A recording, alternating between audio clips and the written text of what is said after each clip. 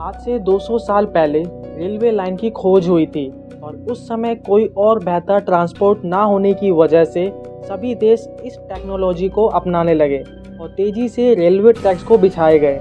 Railway tracks को बिछाते समय इस बात का ध्यान रखा जाता था कि जिस जगह रेलवे ट्रैक्स डाला जा रहा है, वह जगह प्लेन हो, ताकि ट्रेन आसानी से वहाँ से गुजर सके। लेकिन कुछ जगह ऐसी थी जहाँ पर रेलवे ट्रैक्स को बिछाना किसी चैलेंज से कम नहीं था, जैसे कि ऊँचे पहाड़ या फिर नदियों के ऊपर ट्रैक बिछाना। आज हम बात करेंगे दुनिया की पाँच सबसे खतरनाक और अमेजिंग रेलवे ट्रैक्स जिनको देखकर आप भी हैरान रह जाएँगे। फिर से स्वागत है आप सभी का हमारे चैनल जिज्ञान में।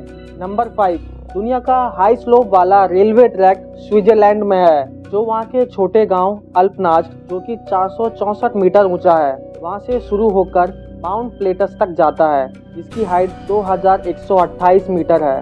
ये ट्रेन 1600 मीटर की हाइट, सिर्फ़ 4.6 किलोमीटर के ट्रैक में कंप्लीट करती है। नॉर्मल ट्रेन में कोई ग्रिप नहीं होती, जिस वजह से वह इस ट्रैक पर स्लीप हो सकती है। लेकिन इस ट्रेन में गियर लगाए गए हैं, ताकि चढ़ते और उतारते समय स्लिप ना हो सके।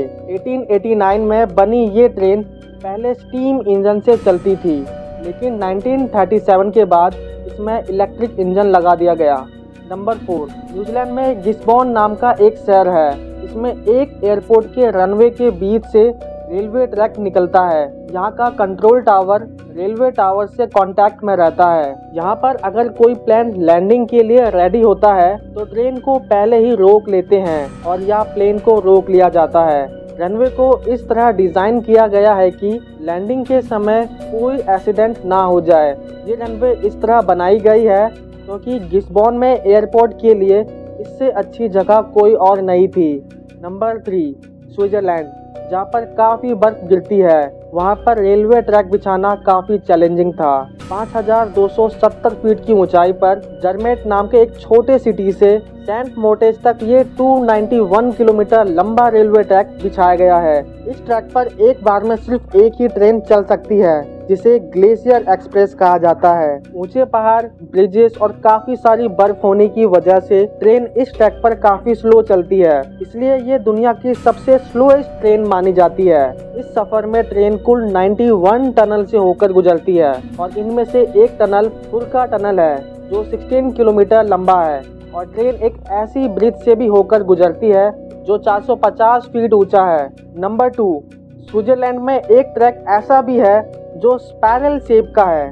वियडक में ट्रेन को 20 मीटर ऊपर चलाना होता है, लेकिन ट्रेन इंजन इतने पावरफुल नहीं होते कि वह इस ऊंचाई को चढ़ा सके। इसलिए 1903 में एक स्पैरल ब्रिज बनाया गया, जिसकी मदद से ट्रेन इस 20 मीटर की ऊंचाई को आसानी से चढ़ा सके। ऐसा स्पैरल ट्रैक दुनिया में कहीं नहीं है। नंबर वन वैसे तो सभी ट्रेन ट्रैक के ऊपर चलती है, लेकिन 1970 में जापान में बनी इस ट्रैक के नीचे ट्रेन चलती है। ये रेलवे नेटवर्क दो एरिया को कनेक्ट करता है, जिसे सोजोमन मोनो रेल नेटवर्क कहा जाता है।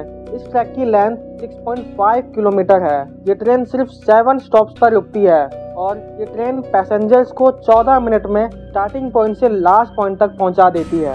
आशा करता हूँ आपको ये वीडियो भी बेहद पसंद आई होगी। ऐसी और वीडियोस के लिए हमें सब्सक्राइब करना ना भूलें।